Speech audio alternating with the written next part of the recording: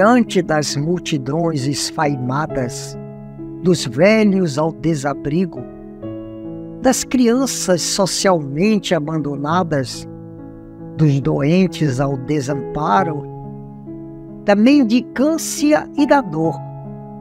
Contemplas através das telas da imaginação a humanidade espírita cristã do futuro e antevês o tesouro da assistência social ao alcance de todos, oferecendo bênçãos e socorro em abundância. Desejas, desde logo, antecipar essa era de paz, procurando erguer uma instituição que possa expressar a realidade do amor em bases positivas, com socorro e assistência aos aflitos da terra. E pensas em assistência social? Falas sobre assistência social. Realizas assistência social. Aqui como ali, tocados pelo entusiasmo, companheiros de lide espírita levantam obras assistenciais respeitáveis, capazes de atender muito sofrimento e diminuir muitas dores. O primeiro sinal da conversão ao Espiritismo para muitos é caracterizado pelas mangas arregaçadas do paletó, o serviço de assistência social, objetivando o próximo combalido impulso nobre. Merece, no entanto, consideração e exame. A dor que tumultua o coração do homem do presente conserva, todavia, raízes fixadas no passado. Tentar o cultivo em solo coberto de mata espessa e danosa seria candidatar as valiosas mudas à asfixia e à morte, em não se cuidando do arroteamento cuidadoso da terra. Por isso, é indispensável mergulhar a meditação nas causas do sofrimento humano e, utilizando os ensinos espíritas, visitar a intimidade das mentes, fazendo luz íntima podes apresentar os evidentes sinais da convicção espírita sem atavios do movimento externo, que todos identificam procedendo de maneira segura e concisa intimamente. Tantos se preocupam com as consequências dos males que olvidam as causas dos males em si mesmas. É imperioso, pois, colimar os objetivos espiritistas no panorama da própria alma.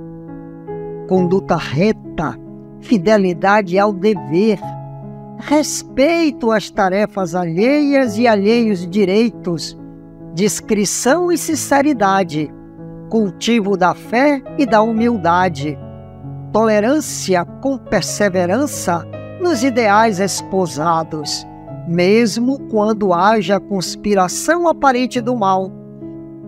Renúncia às ambições com os derivados da alegria espontânea e de um coração rico em esperança. Também são altas expressões de identificação espírita e renovação social, que, todavia, começa em quem pretende retificar e solucionar os problemas alheios aromatizemos a senda por onde seguimos, ajudando e amando, mas conhecendo também quem somos, de onde viemos e para onde vamos. Procedamos com equidade e honradez, oferecendo ao mundo atormentado a segurança de nossa renovação espiritual com um amor dilatado em forma de auxílio a todas as criaturas.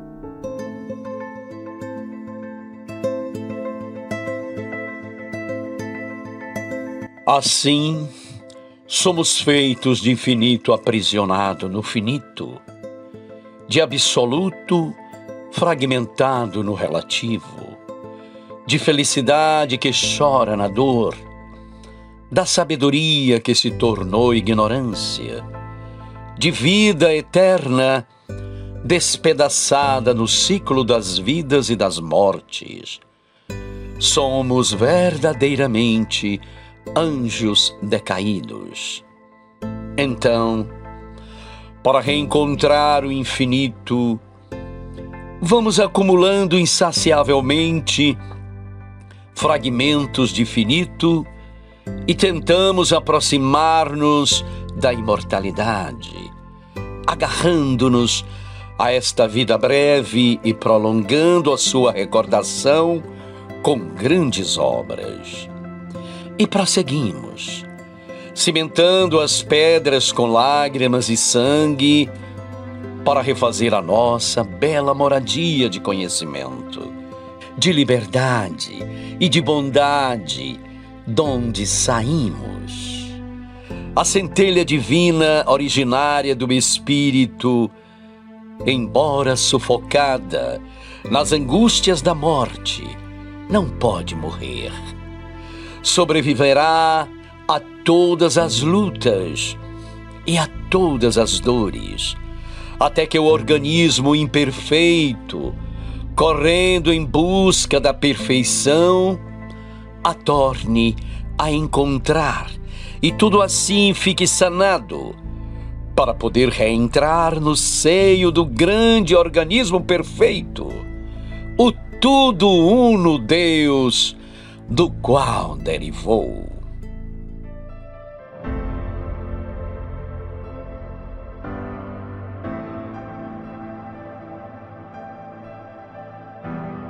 A ciência, a filosofia e a religião constituem o triângulo sobre o qual a doutrina espírita assenta as próprias bases, preparando a humanidade do presente para a vitória suprema do amor e da sabedoria no grande futuro. Recorremos às três vigorosas sínteses da codificação kardeciana para comentar com mais segurança o tríplice aspecto de nossos princípios redentores com a ciência, asseverou o grande missionário, a fé sólida é aquela que pode encarar a razão face a face. Com a filosofia, afirmou o peremptório, nascer, viver, morrer e renascer de novo, progredindo sempre. Tal é a lei. Com a religião, disse bem alto: fora da caridade não há salvação. Não será justo, em nosso movimento libertador da vida espiritual, prescindir da ciência que estuda, da filosofia que esclarece e da religião que sublima. Buscando a verdade, colheremos o conhecimento superior. Conquistando o conhecimento superior, penetraremos novas faixas de evolução e, absorvendo-lhes a claridade divina, compreenderemos que somente pela caridade que é amor puro, é que viveremos em harmonia com a justiça imutável, erguendo-nos, enfim, à desejada ascensão. Abracemos em nossa fé o trabalho paciente da pesquisa honesta e a construção do entendimento, para que a fraternidade cristã possa esculpir em nós mesmos a viva pregação do ideal que espalhamos no serviço aos outros e que significa a nós mesmos. Em suma, instruamo-nos e amemo-nos uns aos outros, descerrando o coração ao sol da boa vontade infatigável e incessante, e o Espírito da Verdade nos tornará na terra por instrumentos úteis na edificação do reino de Deus. Saudações, queridos amigos, caminhantes da estrada em busca do sagrado. Alegria imensa em estarmos mais uma vez aqui neste encontro, inspirados pela poesia, pela música e reflexões que nos conduzem a Deus. No programa de hoje, ainda em continuidade à apresentação das esferas culturais do saber, falaremos da filosofia, mãe de todas as ciências e aquela que apresenta a razão dobrada sobre si mesma. Desde os tempos imemoriais, as questões fundamentais acerca do sentido da vida, da essência das coisas, perguntas desafiadoras como o famoso por que existe algo ao invés do nada, incutiram em algumas mentes a missão de desvendá-las todas, partindo como navegante em mar desconhecido, munido exclusivamente de instrumento da razão azeitado pela alquimia da intuição reveladora. Tales de Mileto, que viveu no século 6 a.C., tornou-se o primeiro filósofo conhecido do Ocidente morador da antiga Jônia, península banhada pelo mar Egeu, hoje pertencente à Turquia, Tales, em suas arguições, questionava sobre a origem de tudo, o que para os pensadores dessa região se constituiria em um princípio fundamental por eles chamado de arqué. Como era senso comum, o universo seria constituído em termos de quatro elementos: o fogo, a água, o ar e a terra. E a grande questão filosófica seria qual deles constituiria a essência fundamental. Tales afirmava ser a água, Anaximandro o ar, Heráclito afirmava ser o fogo. De comum apenas a ideia, a ideia de um monismo clássico originado de tais pensamentos, aqui representados pela máxima miletiana de que tudo provém do um e o um provém do todo. Anaximandro, discípulo de Tales, buscava a arqué, ou substância fundamental, não nos elementos conhecidos, mas em uma realidade impalpável, invisível e sem limites. Aqui designou de apero. Para Anaxágoras, essa substância seria natural de uma força, uma força de natureza imaterial, capaz de tudo ordenar, chamada nous, assunto que Plotino vai abraçar no século II da nossa era, ao admitir que, partindo do mundo sensível, deve alcançar o uno mediante a união mística com o Criador. Esses eram os verdadeiros filósofos da natureza, posto que nela buscavam inspiração para suas indagações. Outro senso comum era de que o todo existente só assim o é por razão de uma precedência necessária de algo que lhe deu forma e possibilidade existencial. Do nada, nada de certo poderia vir. Pensavam eles. O universo lhes traria essas respostas. Não seria possível adentrar nos mais recônditos segredos do universo sem a perspicácia audaciosa desses pensadores, sobre os quais sempre recaiu a pecha de frios e materialistas, posto que racionais ao extremo, usavam de algo mais do que a percepção dos sentidos para compreender a realidade objetiva. Os filósofos de todo o tempo sempre buscaram uma verdade que subjaz ao sensório e assim, a compreendendo, tornar-se-ia mais facilmente possível acomodar tais mentes irrequietas por indevassáveis segredos do universo. Da escola dos ocidentais, os nomes de Sócrates, Platão e Aristóteles certamente se tornariam os mais conhecidos e sem o saber, todos esses propugnadores de uma nascente metafísica iriam facilitar, sem essa intenção a lhes mover o passo, o caminho do homem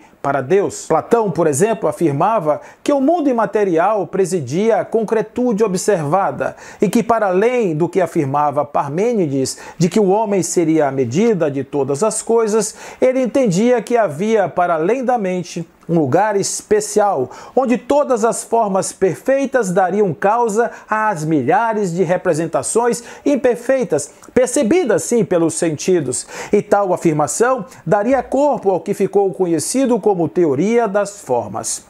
Afirmava o filósofo que algumas realidades, independentemente de como eram manifestadas, possuíam uma essência de forma que as fazia pertencer a este ou aquele tipo de expressão, sendo idêntica em diferentes maneiras de se apresentar. Pensou assim em conceitos como triangularidade, aspecto comum a todos os triângulos, independente da forma como esses se apresentem no mundo dos sentidos, e assim firmou a ideia dos então chamados universais. Surge daí também a famosa alegoria da caverna, onde formas projetadas em uma parede corresponderiam a reflexos de uma outra realidade mais perfeita subjacente às projeções. Tal pensamento iria estimular outros pensadores a orientarem suas conjecturas na direção de que o mundo material transcende a si mesmo e aponta para uma fonte eterna, que as coisas têm formas e essências imutáveis,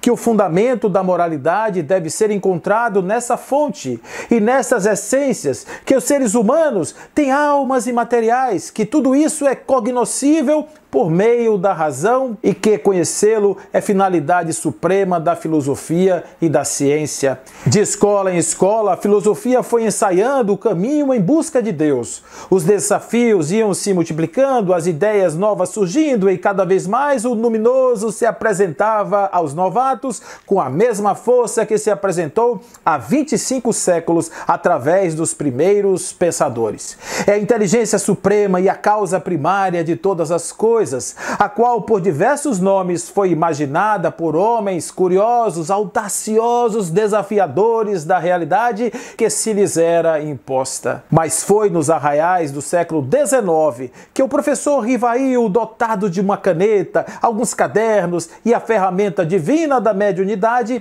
traçou os laços que uniria as diversas escolas do pensamento, tornando-se a síntese de antigos filósofos. Agora, não eram a água, a terra, o fogo, o ar, áperon, arqué ou nos, agora apenas um fluido divino que a tudo envolvia, fonte criadora da vida e de todas as formas. O amor, sentimento inato ao espírito, seria o elemento unificador de todas as expressões. Toda essência manifesta em sinal de que o encontro é mais perto do que o imaginado.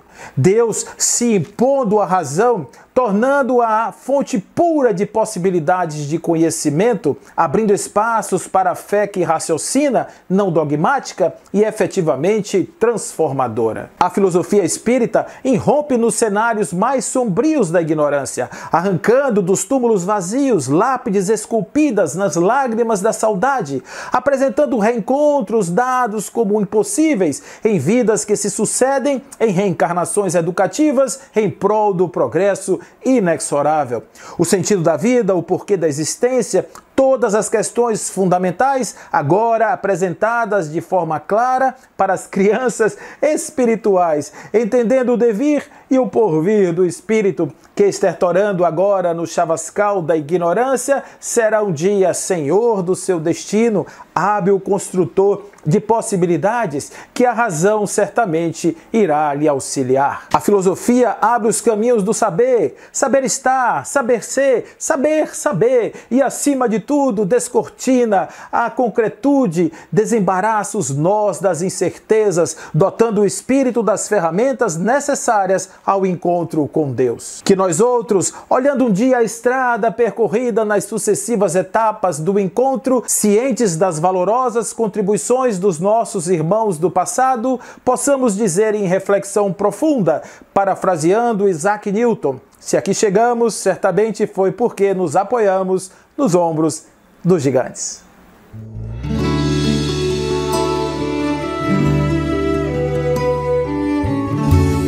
O Consolador.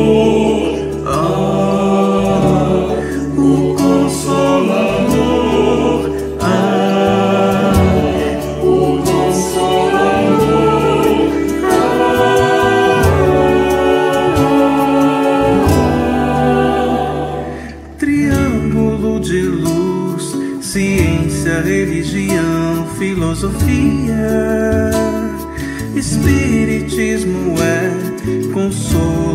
Traz a luz da alegria.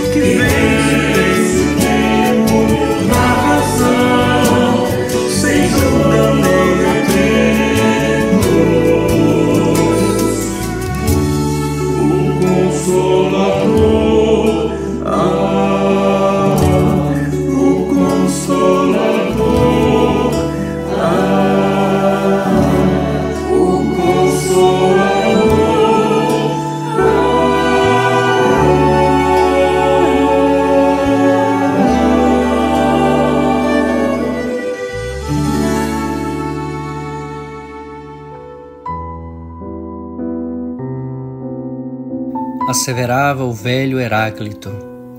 Quando os olhos acreditam observar alguma coisa de permanente, em verdade são vítimas da ilusão.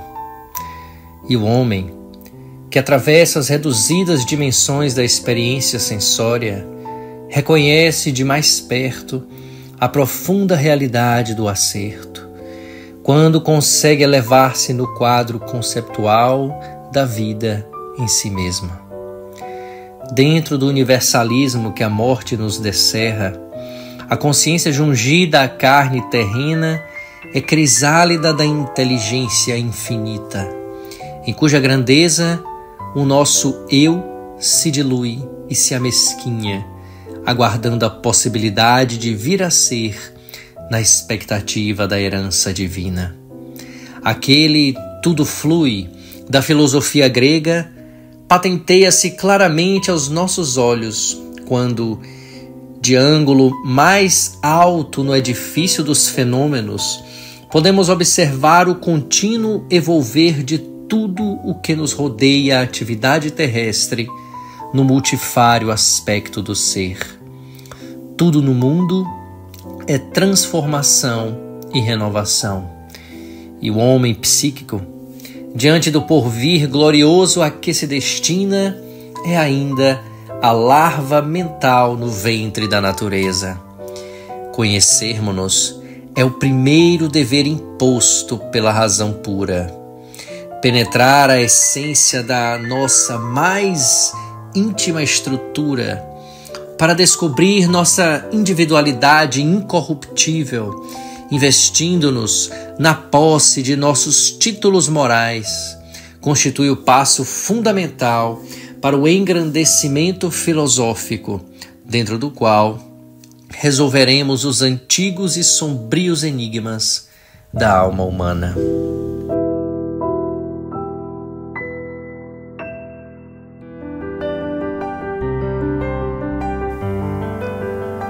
Do fato de haver Jesus conhecido a seita dos essênios, fora errôneo concluir-se que dela auriu sua doutrina, e que se houvera vivido noutro meio, teria professado outros princípios.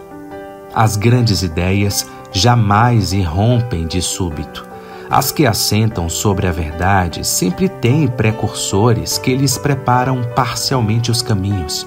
Depois, em chegando o tempo, envia Deus um homem com a missão de resumir, coordenar e completar os elementos esparsos, de reuni-los em corpo de doutrina. Desse modo, não surgindo bruscamente, a ideia, ao aparecer, encontra espíritos dispostos a aceitá-la. Tal o que se deu com a ideia cristã, que foi pressentida muitos séculos antes de Jesus e dos essênios, tendo por principais precursores Sócrates e Platão. Sócrates, como Cristo, nada escreveu, ou pelo menos nenhum escrito deixou. Como o Cristo, teve a morte dos criminosos, vítima do fanatismo, por haver atacado as crenças que encontrara e colocado a virtude real acima da hipocrisia e do simulacro das formas, por haver, numa palavra, combatido os preconceitos religiosos. Assim como a doutrina de Jesus, só a conhecemos pelo que escreveram seus discípulos. Da de Sócrates, só temos conhecimento pelos escritos de seu discípulo Platão. Aos que considerarem esse paralelo uma profanação e pretendam que não pode haver paridade entre a doutrina de um pagão e a do Cristo, diremos que não era pagã a de Sócrates, pois que objetivava combater o paganismo, que a de Jesus, mais completa e mais depurada do que aquela, nada tem que perder com a comparação, que a grandeza da missão divina do Cristo não pode ser diminuída, que ao demais trata-se de um fato da história que a ninguém será possível apagar. O homem há chegado a um ponto em que a luz emerge por si mesma de sob o alqueire ele se acha maduro bastante para encará-la de frente, tanto pior para os que não ousem abrir os olhos. Chegou o tempo de se considerarem as coisas de modo amplo e elevado, não mais do ponto de vista mesquinho e acanhado dos interesses de seitas e de castas. Além disso, estas citações provarão que, se Sócrates e Platão pressentiram a ideia cristã, em seus escritos também se nos deparam os princípios fundamentais do Espiritismo. Sentado em uma pedra, Harun Rashid olhava a paisagem ao derredor, se deleitando em meio à harmonia canora do amanhecer. Durante toda a existência, foi um observador atento de tudo, e por mais que percebesse a grandeza do universo, suas ideias pulavam como crianças em uma cama de elástico. Seus pensamentos vagavam por entre as pétalas de uma margarida, contrastando o alvinitente com o ouro que carregava em seu miolo, e um girassol com seu inimaginável tropismo em busca do sol. Perdera-se já fazia horas desde o momento em que sentara naquela pedra alta que lhe permitia vislumbrar o horizonte com olhares longínquos. Um velho filósofo também passava por ali naquele momento e, observando o absorto Rashid, aproximou-se. Queria aproveitar o deleite daquela manhã para compartilhar silêncios e elucubrações. Harun Rashid percebeu a chegada do velho sábio, porém, entretido em silentes observações, tornou a fixar com olhar percussiente o universo. Sentou o velho sábio ao lado do rapaz, formulando em si acerbas indagações, sem contudo deixar de observar aquele que ali se fizera todo perguntas. Queria deixar fluir os pensamentos levados pelo vento da curiosidade infantil de tantas questões, pouquíssimas respostas. Por certo, a mente humana permite que construamos castelos de areia das ideias à beira do mar, mesmo que a desilusão posterior possa, como ondas, destruí-los. Mas o simples prazer de, por alguns instantes, termos a ideia de que conquistamos a verdade basta para que tenha valido a pena os poucos segundos de iluminação. Assim, o jovem Rashid perdia-se meio a sorrisos, em olhos perolados de lágrimas advindas do fundo daquela alma buscadora. Já se encontrava em silêncio alguns minutos, quando, em uma espécie de sussurro, uma palavra perdeu-se afora do mundo íntimo de Rashid, ganhando em sonoridade a vida, agora passível de interpretações. Como que, deixando escapar, o filósofo ouve a palavra Deus. Por certo, Rashid pensara ser esta a única explicação para todo aquele encantamento. O sábio, percebendo o momento oportuno, asseverou: Jovem, sei que em um momento de tamanha grandeza carece de explicações pertinentes. A palavra que acaba de pronunciar, o que pensa ser tal entidade a qual depositas tanta confiança a ponto de dedicar-lhe tamanha empresa? Rashid olhou aquele homem franzino, rosto já desenhado de rugas, apresentando uma idade avançada, nívea cabeleira senhorando-se dos ombros agasalhados em um manto de aparência suja pela poeira da estrada. Em um primeiro momento, relutou em responder à indagação, mas algo em seu interior clamava por respostas. Se o Senhor se refere a Deus, sim, ele é a única resposta que consigo obter toda vez que pergunto sobre a origem de tudo.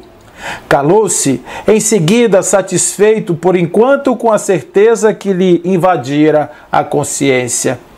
Por certo, o filósofo entendia muito bem o porquê de haver tanta verdade na fala do jovem Rashid mas ao mesmo tempo perguntava a si mesmo sobre o que seria de fato este Deus, do qual falavam as religiões e tantos filósofos de todo o tempo.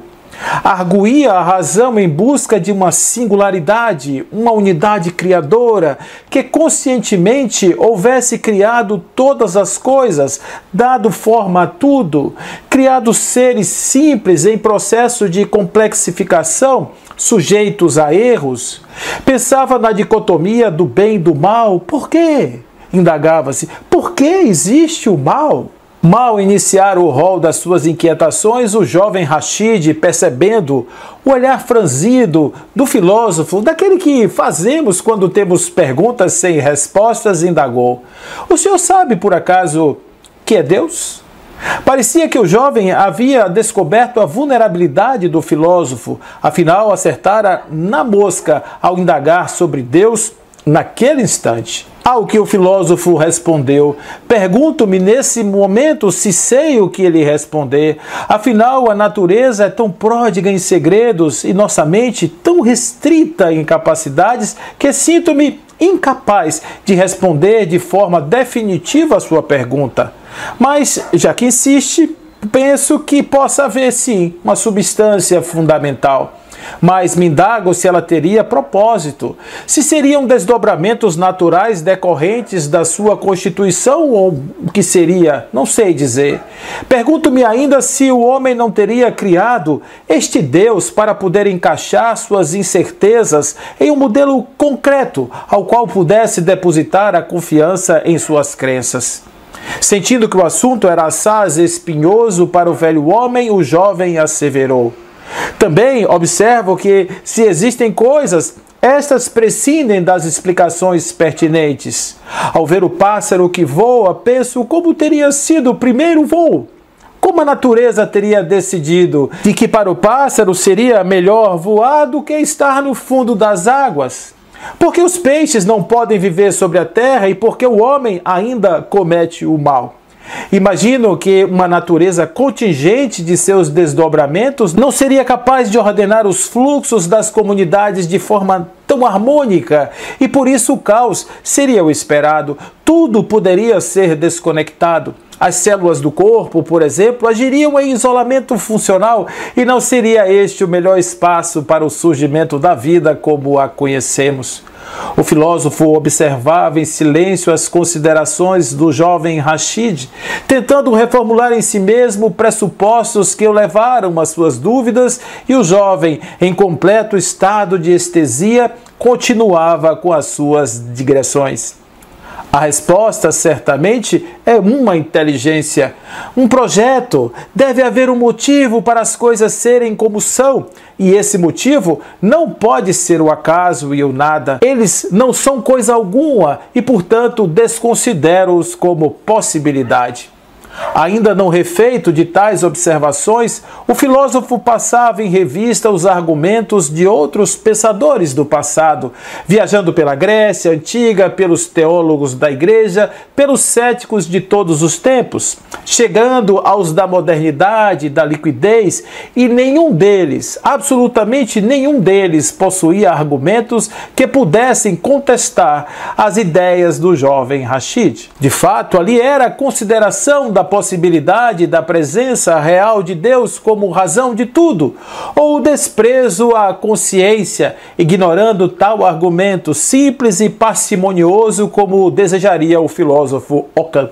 Calou-se, deixou penetrar em seu mundo íntimo a possibilidade de uma razão criadora e mantenedora de tudo.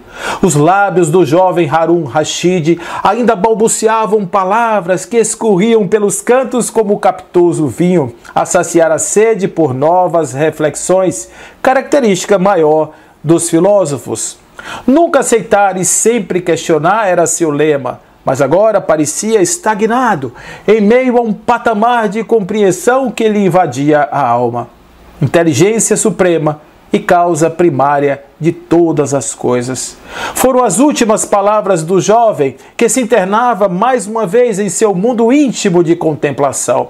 O filósofo nada mais perguntou, levantou-se e saiu, com a certeza de que nunca mais seria o mesmo.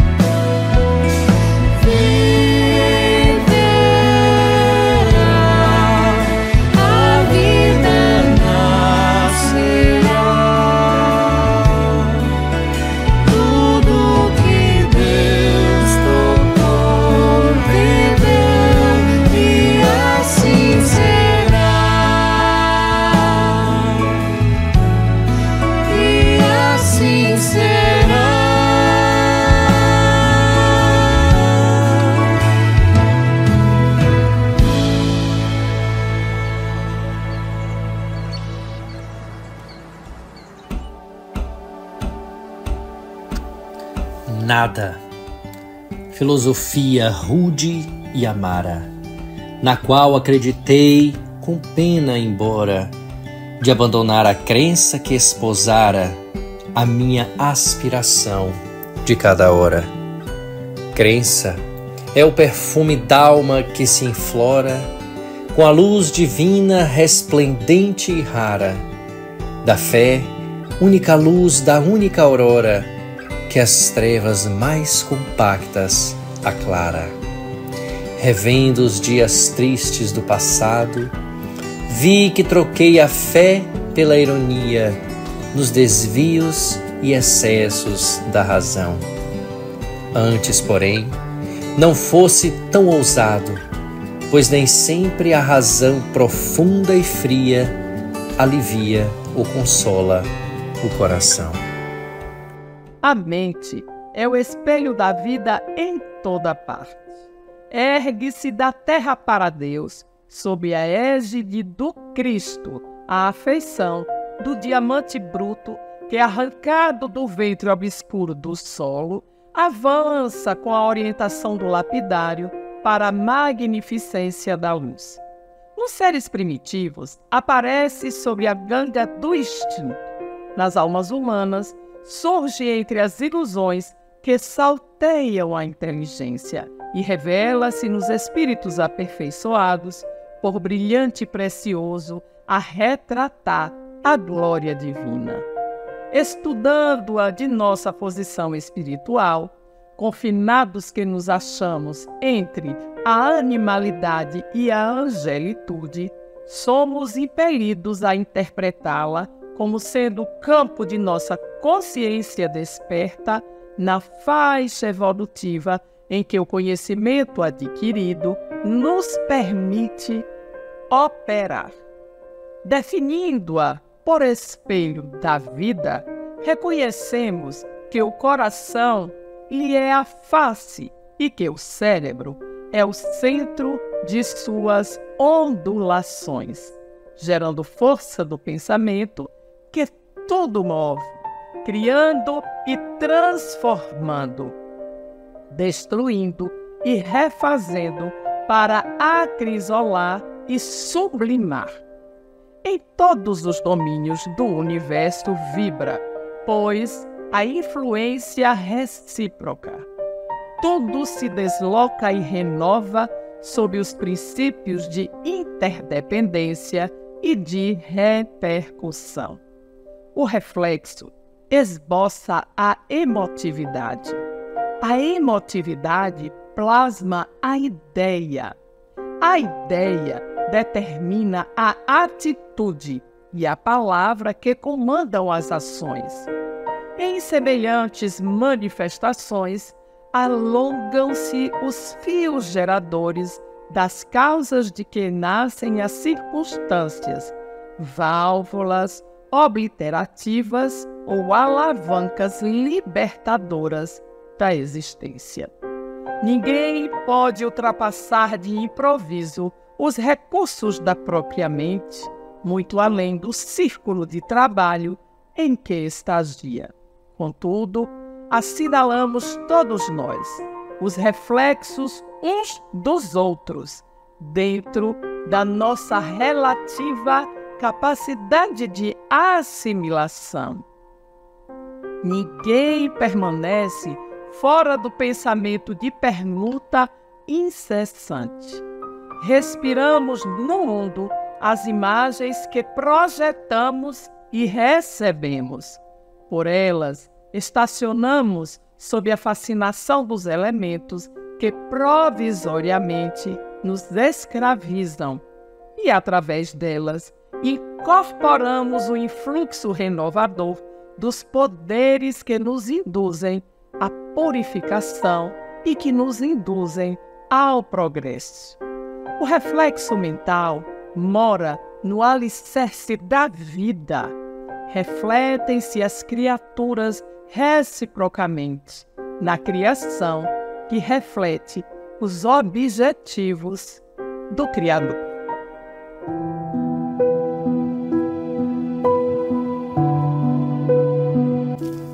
Nos círculos espiritistas, muito se tem falado de uma fé raciocinada, mas poucas vezes de uma razão iluminada.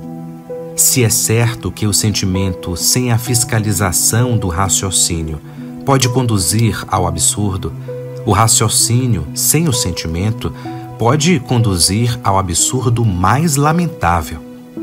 O cérebro e o coração não podem viver separados na tarefa construtiva. Sem a perfeita harmonia de ambos, todo trabalho edificante torna-se impossível. O primeiro sem o segundo fez o veneno ideológico da negação, com as suas nefastas consequências. O segundo, sem o primeiro, descansou nos domínios da fantasia e da extravagância dogmática. Estabelecendo o labor da análise, o Espiritismo se propõe reajustar o sentimento, mas, em hipótese alguma, pode prescindir de sua cooperação. A razão calcula, cataloga, compara, analisa. O sentimento cria, edifica, alimenta, ilumina. Os espiritistas sinceros devem saber que a ciência e a filosofia do planeta são um conjunto de verdades provisórias. Suas equações variam de cérebro a cérebro, como de escola para escola. Sem estabilidade no tempo, ambas acompanham os voos do sentimento, de quando em quando aceso pela fagulha do gênio que despreza a rotina e o convencionalismo para iluminar a estrada do futuro infinito. Só o sentimento é bastante grande para elevar-se da esfera comum, quebrando as fórmulas rasteiras.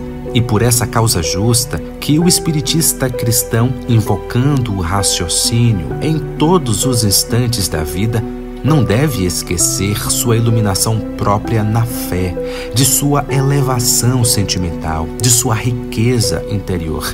Em suma, de seu aperfeiçoamento individual na lei do esforço próprio.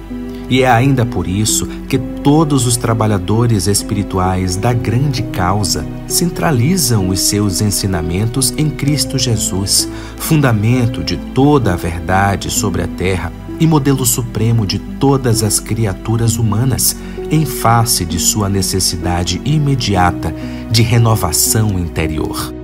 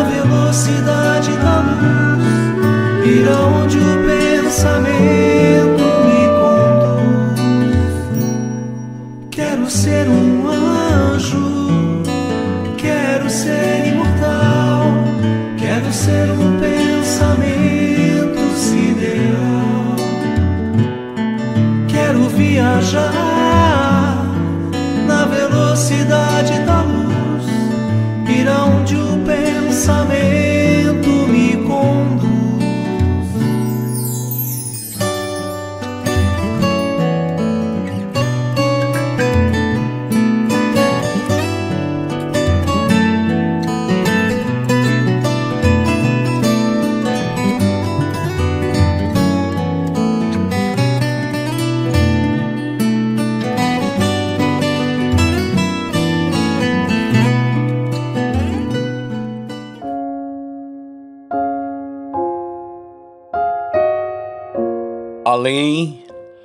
luz do espaço se esfacela em explosões de sons e cores raras, tecendo o amor e a glória nas searas da vida universal, sublime, bela. Brilham depois do azul que o céu revela, astros em bando, iguais longas aparas, de altas constelações em formas claras, sóis pendendo de vasta passarela. O homem fita espantado as nebulosas, bailando em formações maravilhosas, e vê-se um verme à frente do destino. Ante o excelso esplendor, finda-se o engano, como se faz pequeno orgulho humano, como se torna imenso o amor divino.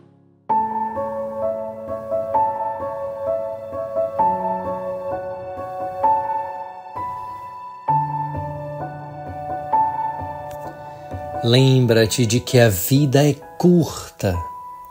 Enquanto ela durar, esforça-te para adquirir o que vieste procurar neste mundo, o verdadeiro aperfeiçoamento. Possa teu ser espiritual daqui sair melhor e mais puro do que quando entrou. Acautela-te das armadilhas da carne. Reflete que a terra é um campo de batalha onde a alma é a todo momento assaltada pela matéria e pelos sentidos. Luta corajosamente contra as paixões vis. Luta pelo espírito e pelo coração. Corrige teus defeitos, adoça teu caráter, fortifica tua vontade. Eleva-te pelo pensamento acima das vulgaridades terrestres. Dilata as tuas aspirações sobre o céu luminoso. Lembra-te de que tudo que for material é efêmero. As gerações passam como vagas do mar, os impérios esboroam-se, os próprios mundos perecem, os sóis extinguem-se, tudo foge, tudo se dissipa. Mas há duas coisas que vêm de Deus e que são imutáveis como Ele, duas coisas que resplandecem acima da miragem das glórias mundanas: são a sabedoria e a virtude. Conquistas por teus esforços e alcançando-as, elevar-te-ás acima do que é passageiro e transitório, para só gozares o que é eterno.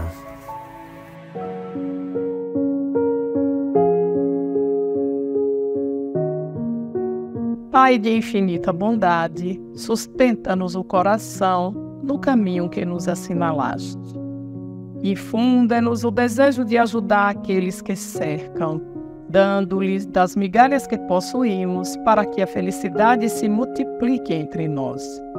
Dá-nos a força de lutar pela nossa própria regeneração, nos círculos de trabalho em que fomos situados por teus sábios desígnios. Auxilia-nos, ó Pai, a conter nossas próprias fraquezas, para que não venhamos a cair nas trevas, vitimados pela violência. Pai, não deixes que a alegria nos enfraqueça e nem permitas que a dor nos sufoque. Ensina-nos a reconhecer tua bondade em todos os acontecimentos e em todas as coisas.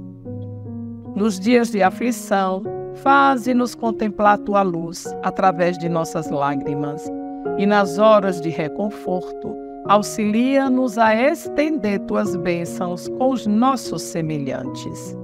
Dá-nos conformação no sofrimento, paciência no trabalho e socorro nas tarefas difíceis. Concede-nos, ó Pai, sobretudo, a graça de compreender a tua vontade, seja como for onde estivermos, a fim de que saibamos servir em teu nome e para que sejamos filhos do teu infinito amor. Que assim seja.